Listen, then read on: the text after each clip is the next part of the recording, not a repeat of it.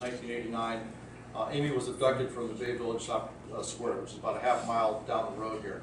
She left school about 2:05 in the afternoon, uh, walked to the, walked to the center with a couple friends, and she was last seen at that center between 2:15 and 2:30 that day. Um, The yellow X at the top is the curtain. That's where the curtain was found from her body, which is down there in the pink. The red X is the blanket. They're 14 feet apart from each other.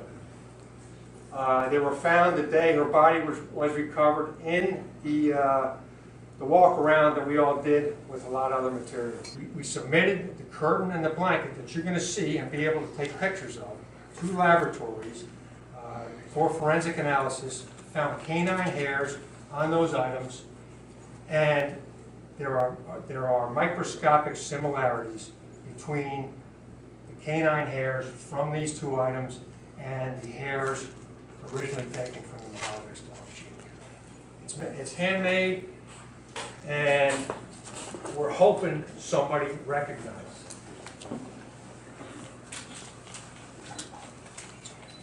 And if we can find the person who, somebody can call us, say, my, my mom made this curtain, my grandma made this curtain, it was hanging in my brother's room, whatever that is, we can solve this case.